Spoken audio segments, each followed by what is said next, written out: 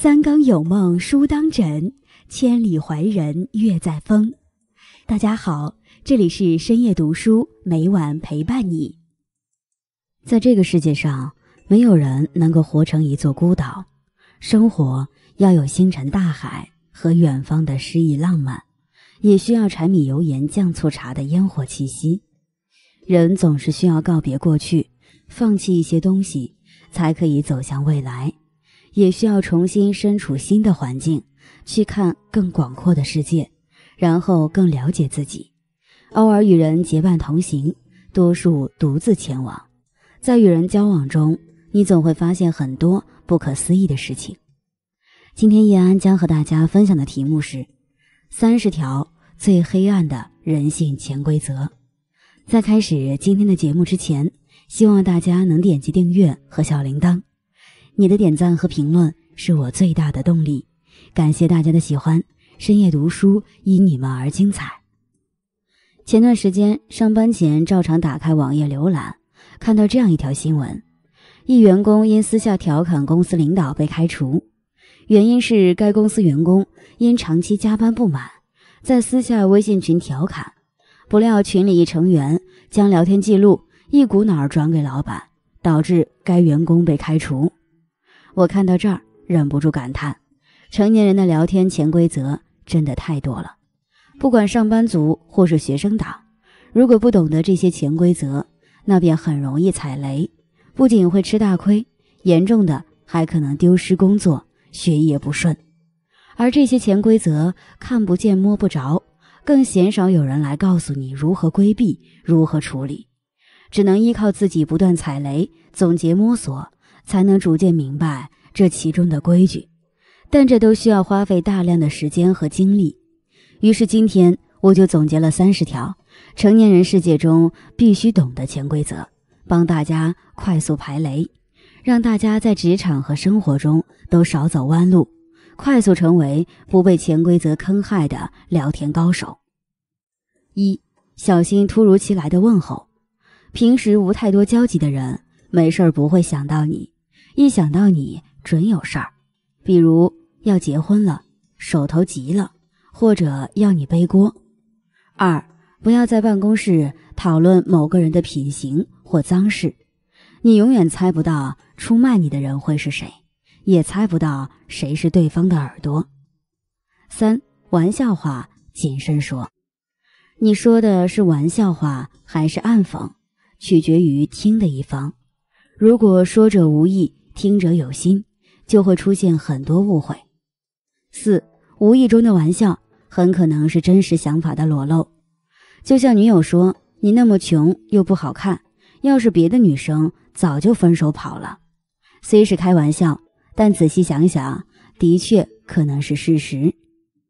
五，和刚认识的朋友交浅不言深，熟人都会背叛，更何况不熟。相处中保留一定的神秘感，就是保护自己。我刚毕业那会儿，在公司里认识了一位新同事，看他挺自来熟的，一不小心就把自己的业绩秘诀告诉他。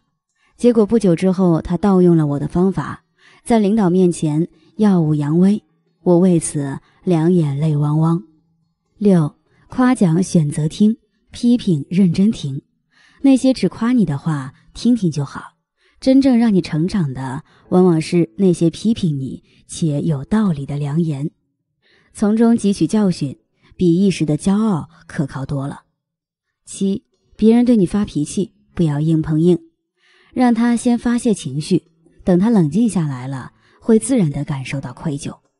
如果过后他还是无理取闹、变本加厉，你再反抗他不迟。八，能用文字、电话解决的事情。最好不要用语音，一是语音极不方便，翻译还可能不准确；二是容易引起反感，耽误事情。方便自己的同时，多考虑对方，你的人缘才会越来越好。九，如果与素不相识的人交流感到紧张，可以用手指敲打大腿或桌面，放松心情；也可以在手机上快速双击屏幕，释放压力。十。攀比心理人人有，那些表面希望你过得好的人，心底其实不希望你比他过得好。比如 A，我最近又买了一套房；B，恭喜你啊，毕业不到一年就买新房子了，厉害。A，哪有哪有，还是得向你学习，连女儿都这么大了。B，心里，你可以在公布一个好消息后，说说不好的地方，让对方心理平衡。比如你搬了家，可以说又得想办法还款了；升了职，又得被领导针对了。十一，朋友愿意听，不代表喜欢听。当有人开始敷衍你的抱怨时，说明你要停止了。朋友愿意听，不代表喜欢听。如果把朋友比作垃圾桶，把你的抱怨比作垃圾，等垃圾桶装满，一定会溢出来。十二，少用反问语气。A，你好，打扰一下，请问这条路怎么走？B，这条路都不会走，你这么多年的车白开了。A，是从右转吗？B，不是右转，你眼瞎，试试不就知道了。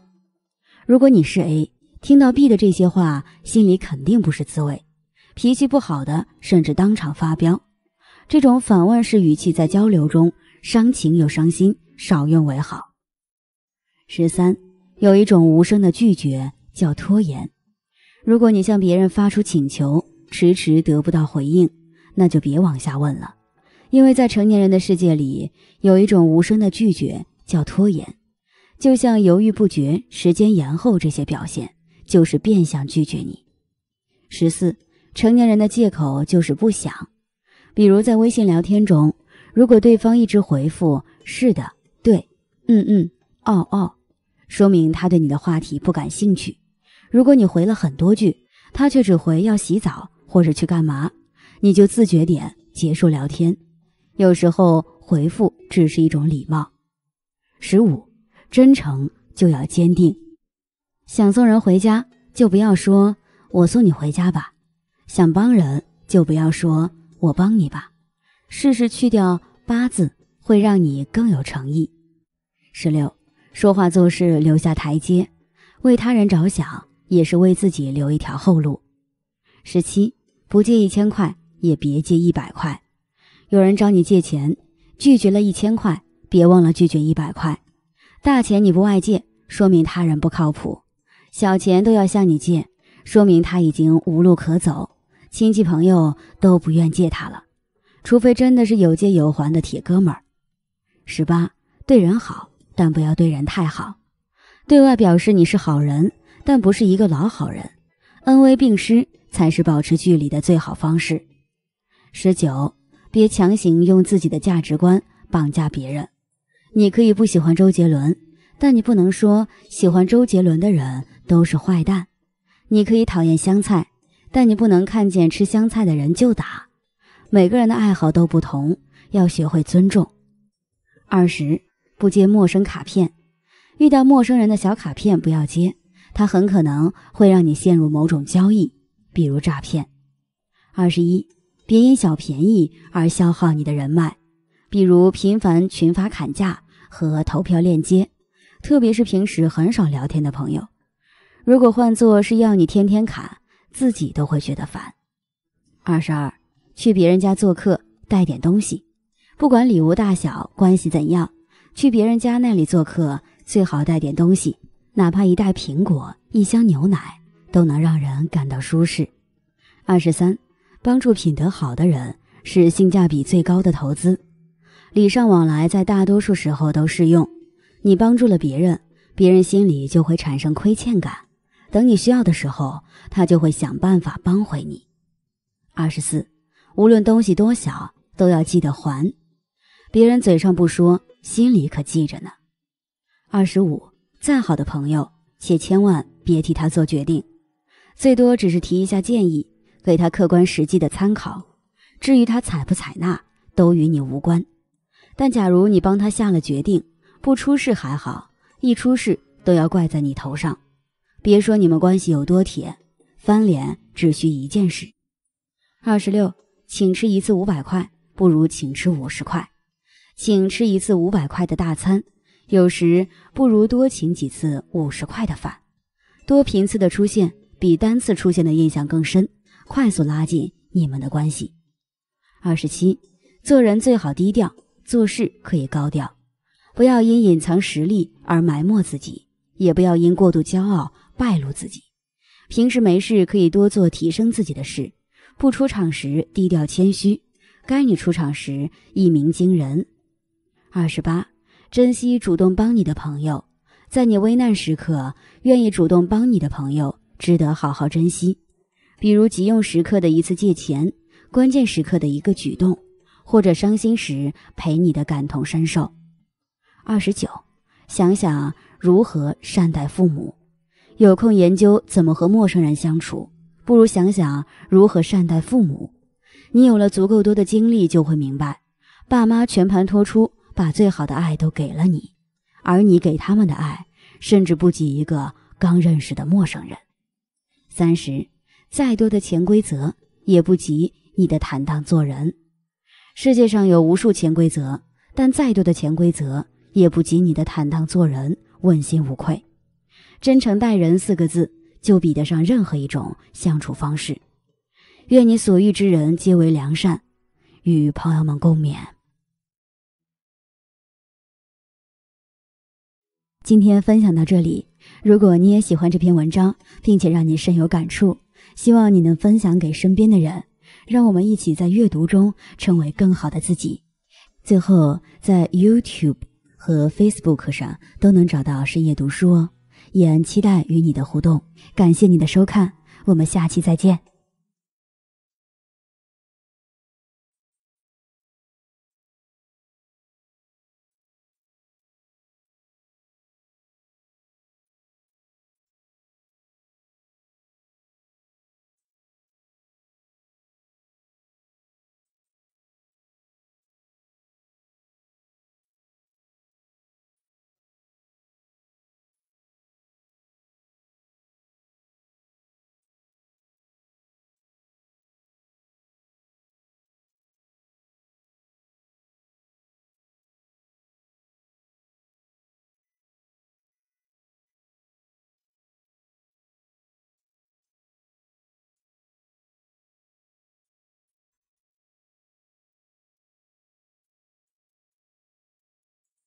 万事万物中存在着它自己的规则，有时候搞了破坏，便让人跌入万丈深渊。凡事有度，才能摆正倾斜的天平。做人做到恰如其分，是人生的最高境界；做事做到恰到好处，是人生的最大学问。今天叶安将和大家分享的题目是：往后余生学王阳明做人做事。在开始今天的节目之前。希望大家能点击订阅和小铃铛，你的点赞和评论是我最大的动力。感谢大家的喜欢，深夜读书因你们而精彩。跟王阳明学做人做事，首先要守好五个度，方能把握好人生大方向。这就是胸怀有宽度，办事有力度，读书有厚度，眼界有高度，说话要适度。胸怀有宽度。佛家喜欢论境界，按照儒家的说法叫胸次。王阳明讲做人应当胸次悠然。王阳明是个性情中人，平生主张尽兴而为。在他看来，一切本该顺其自然，太过纠结在意，反倒成了内心的障碍。王阳明说：“过去未来事，思之何益？徒放心耳。过去事放不下，未来事想不通，胸次渐窄。”人也就走进了死胡同，视为住相。懂得享受当下生活的人，对于过去的得失不做无谓的计较。我记得看过一位读者的留言，让我印象特别深刻，是这样说的：心仪的鞋子断码了，就去旁边的店再挑一挑；买件漂亮的大衣也很好。常去吃的那家面馆停业了，就去别家吃一碗好吃的粉。喜欢的人离开了。就认真上课，好好工作，赚更多的钱。有无数种方式让自己开心，也有无数条大路通向未来。人总会成长，曾经沉迷的东西也会慢慢沦为可有可无的消遣。没有什么是不可替代的。向前走，一切都还有可能。是啊，人生有得有失，但看清不如看清。人心总要学会舍得和放下。一段路走了很久，依然看不到方向，心里满是疲惫，那不如就换个方向散散心。陌生的风景又何尝不是一种惊喜？一些人认识很久，依然感受不到真诚，那就果断离开。时间有限，真心难得，有那么三五个知心好友，有一个以心交心的爱人就足够了。一些事想了很久，依然觉得很困惑，那就别一直纠缠于他。你得明白，一生要遇见的事情太多了，不必每一桩每一件都放在心上，更没必要把太多人请进你的生命里。对于未来尚未发生的事情，也不做杞人忧天的担心。他们胸怀宽阔，内心清明，所以他们是快乐的。庄子云：“虚室生白，吉祥直指。”空的房间才显得敞亮，吉祥的事情才能容纳进来。人的胸怀也是这样。王阳明说：“草有妨碍，礼义宜去，去之而已。偶未既去，亦不累心。只有拔除胸中的杂草，去除那些无谓的烦忧，才能长保安宁祥和。办事有力度。王阳明是心学宗主，却也是一位实干家。”在他看来，任何成就都不是凭空想来的。要想取得一番大成就，必得先下一番苦功夫。如果做得不够好，一定是功夫下的还不够深。只要功夫深，把该做的事都做好了，一切便会不求自来。王阳明自己饱读诗书，却不满足于纸上谈兵，一有机会就实践自己的兵法功夫。他曾以钦差的身份。奉旨督造一项工程，王阳明以兵法统御之方，对工程队实行军事化管理。他组织民工演练八阵图，让民工劳逸结合，按时作息。对待手下的管理人员，也以兵法约束和指挥。在他的领导下，工程队的效率远胜平常。等到工程队建设完毕，他对兵法的领悟也更深了。王阳明说。人需在世上磨，方立得住，方能静亦定，动亦定。在他看来，说话有说话的功夫，办事有办事的功夫，这些都得在世上磨练。功夫下得越深，根基也就扎得越稳。读书有厚度，王阳明认为，读书是为了积累人生的厚度。有些人脑袋空空，腹内草莽，无法在世间做出丝毫贡献。对于自己的人生也全无益处。庄子曰：“水之积也不厚，则其覆大舟也无力；风之积也不够，则其覆大翼也无力。”凡有大志向的人，必定注意累积自己读书的厚度。从书本中汲取的知识越厚重，遇到困难解决的办法也会多一些。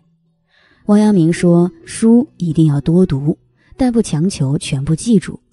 多读经典。”不仅是为了开启智慧，更是为了在反复思索中存养本心。英国哲人培根说：“读史使人明智，读诗使人聪慧，哲理使人深刻，道德使人有修养，逻辑使人善变。每读一种书，便能收获一种的好处。有了知识的托举，人生便如顺水行舟，意下生风。眼界有高度，人的眼界。”决定了起点，不管做事还是做人，都应往更高更远处看。王阳明十三岁时就向私塾先生发问：“什么是天下第一等事？”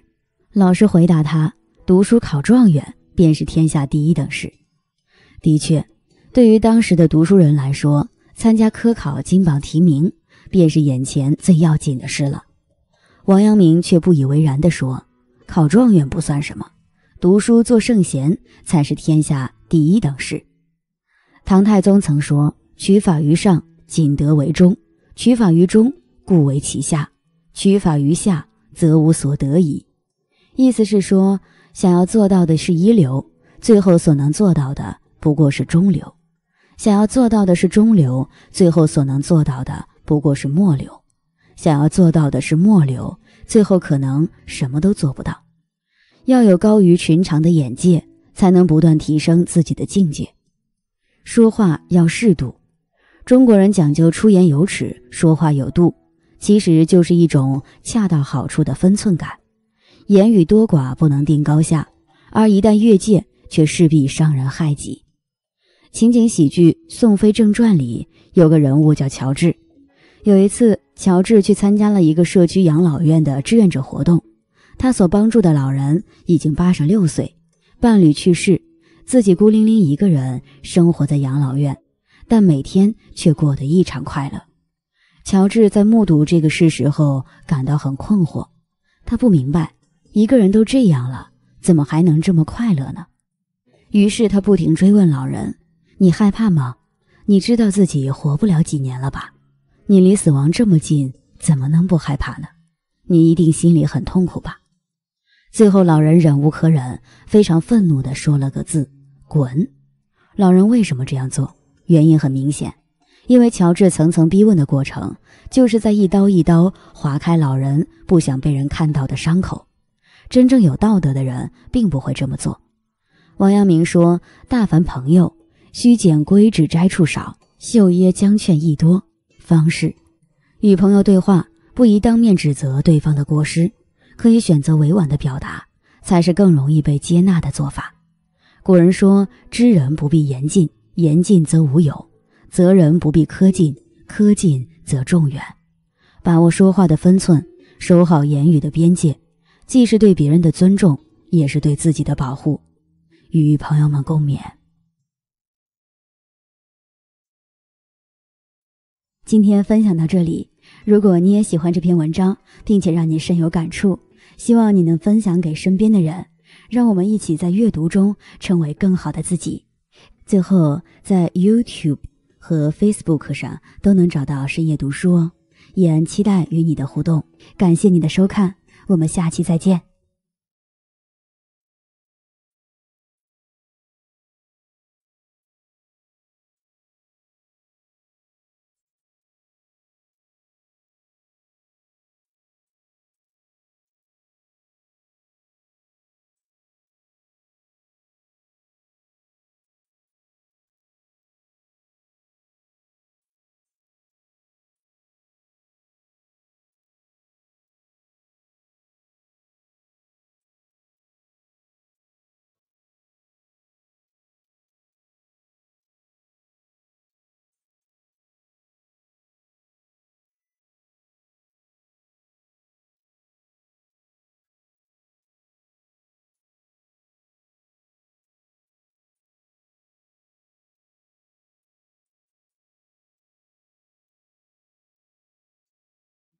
加互动。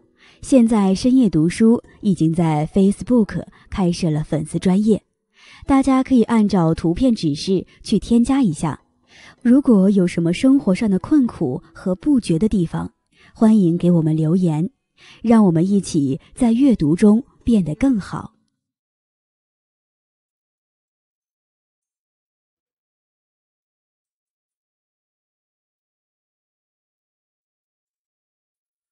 不倚老卖老，相对年轻人，我们有更加丰富的人生经验，更炫彩的人情世故，但并不代表作为老年人可以为所欲为。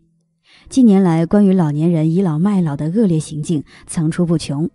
四月十四号，一辆公交车上又发生了一起乘客与乘客之间的矛盾。七十岁老大爷要求年轻女孩让座，姑娘因为身体不舒服拒绝让座，由此发生口角。更过分的是，大爷索性坐在了姑娘的大腿上，还动手殴打女孩。让座位是良心本分，但不是强制。每个人都有头疼脑热的时候，做人还是不要太自私。人过五十，我们更要清楚一点：年龄和阅历是资本，但不是倚老卖老的借口。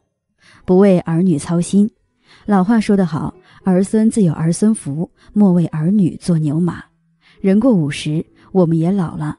儿女们都大了，他们也有自己的生活，也有自己的小家庭。作为父母，我们更要学会放手，不要时时刻刻黏在儿女身边。到了这个年龄，无非就是希望有一个健康的好身体，有一个知心陪伴的人。所以呀，不要为了儿女操碎了心，有时间跑跑步、下下棋、种种花、喝喝茶，过自己想过的小日子。人过五十，我们更要明白一点：人过五十，身边最亲的不是儿女，不是金钱，不是权力，而是身体和老伴儿。不固不自封。《汉书》有云：“少而好学，如日出之阳；壮而好学，如日中之光；老而好学，如秉烛之明。”人活一辈子，不得不做的两件事情就是呼吸和学习，可见学习的重要性。少壮不努力，老大徒伤悲。但是只要肯开始，一切都还不晚。虽然是到了老年之后，我们的记忆力和逻辑能力都会随之下降，学习向来并不是一件容易的事情。不管是在哪个年龄阶段，困难都是一样的。只要功夫深，铁杵磨成针。人过五十，你要随时随地都能保持一颗探索新奇事物心和不断学习的激情和热情，才不至于被社会淘汰。不争先，不逞强。古训云：“木秀于林，风必摧之。”无论是谁，要想能够在这个社会上立足，首先要学会低头，暂避锋芒。都说五十而知天命，到了这个年纪，更要学会谦虚低头，不逞强，方是为人之道。到了这个年龄，更要懂得与世无争，知足常乐，才是快乐的法门。属于自己的东西，谁都拿不走；不属于自己的东西，到底还是留不住。所有的一切都是顺其自然。英国诗人兰德在《生与死》中写道：“我不和谁争，和谁争我都不屑。”人过五十，愿你有闲看庭前花开花落的与世无争，更有不怯懦、不怯斗的底气和傲骨。不要随意付出真心。人际交往中有一条铁律：你怎么待我，我就怎么待你。但是经历了风风雨雨之后，看透了身边太多虚伪的人。你会明白一个道理：真心真情是最不值钱，套路永远比真情重要。无论在工作中还是在生活中，我们总会遇到两面三刀的人。你拿真心待人，他却在背后捅你刀子。因为最信任的人，往往能知道你的痛点在哪里。所以做人还是不要太傻太天真。人过五十，你要明白，你的真心只给在乎你的人，你的实意只给心里有你的人。不要盲目的付出，不要随随便便就对别人太好，不乱发脾气。人过五十，更要明白一个道理：学会控制脾气，才是最难的修行。生气发脾气的害处，我们都知道：一伤身体，二伤感情。生气是拿别人的错误来惩罚自己，何必呢？退一步，海阔天空；忍一时，风平浪静。牢骚太多，防肠断；风物长宜，放眼量。该忘掉时就忘掉，该放下的就放下，不要因为一些无所谓的人或者事情让自己伤心难过。毕竟这个时候，除了身体是自己的，其余都是无用的。好了，今天分享到这里。如果你也喜欢这篇文章，请点击订阅与分享，也可以在评论区留下你的看法，让我们一起在阅读中成为更好的自己。感谢您的收看，我们下期再见。